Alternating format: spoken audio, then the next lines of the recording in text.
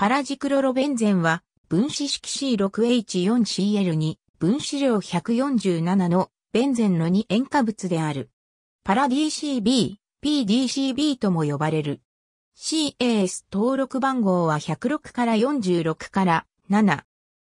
有点摂氏53度、沸点摂氏174度。常温で消化により強い周期を発する白色の個体である。空気中では個体から気体へゆっくりと消化する。匂いが C がゆえに空気中に極微量あるだけでも嗅ぎ分けることができる。主な用途は防虫剤及びトイレの消臭ブロックである。衣服を食い荒らす虫、カビなどを忌避するための防虫剤やトイレ、ゴミの容器などの消臭剤として用いられる。防虫剤として日本語圏ではパラゾールやネオパラエス、英語圏ではパレマース、パラクリスタルズ、パラサイドなどの商品名で知られている。日本の中学校ではかつて理科の融点の実験に用いられることがあったが、生徒の健康状態への影響に配慮する観点からパルミチン酸などを用いた実験に変更された。また、非常にわずかではあるが、スーパーエンジニアリングプラスチックの一種であるポリフェニレンスルファイドの原料としての用途もある。防虫剤などのパラジクロロベンゼン製剤は通常の使用の範囲では人への健康被害の根拠は示されていないが、高濃度では害を及ぼす可能性がある。家庭での非常に高濃度の PDCB の使用は、めまい、頭痛、肝臓障害を起こす。一部の症例では、含有製品を数ヶ月から数年にわたり使用していた。PDCB が生命に異常をきたすという根拠はまだない。母乳中のジクロロベンゼンを検出したという研究はあるが、P 体については特に測定されていない。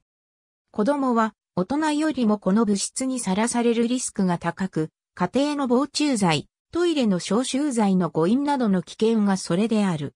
子供に対する動物質の影響についての詳細は乏しいが、おそらく大人と同様の影響だと思われる。PDCB を含む製品を皮膚に接触させたりしないように注意する。防虫剤、トイレの消臭剤等は、幼児の手の届かないところに保存する。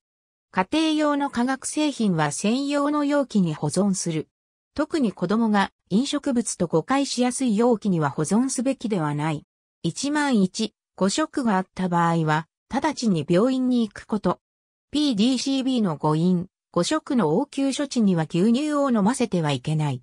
PDCB は使用性のため乳脂肪分に取り込まれ、これが体内に吸収されやすくなってしまうので危険である。パラジクロロベンゼンへの暴露を測定する試験として、最も一般的な方法は PPCB の分解性生物である2、5、ジクロロフェノールの尿や血液中の濃度を測定するものである。尿中に2、5、ジクロロフェノールが存在すると、1日、ないし2日以内に PDCB に暴露されたことがわかる。PDCB の血液中の濃度の測定はそれほど一般的ではない。アメリカの環境省は飲料水中の PDCB の最大許容量を75マイクログラム L としている。PDCB は EPA に登録された殺虫剤なので、製造者が PDCB を殺虫剤として使用する際は EPA にその旨を通知しなければならない。アメリカの労働安全衛生庁は1日8時間、週40時間労働での空気中の最大許容量を 75ppm としている。2008年10月に日本でカップ麺からパラジクロロベンゼンが検出され、食べた人が健康被害を訴えた騒ぎがあり、調査の結果、防虫剤のそばにカップ麺を一定期間置いた場合、パラジクロロベンゼンが包装や容器を通じてカップ麺に移ることが確認された。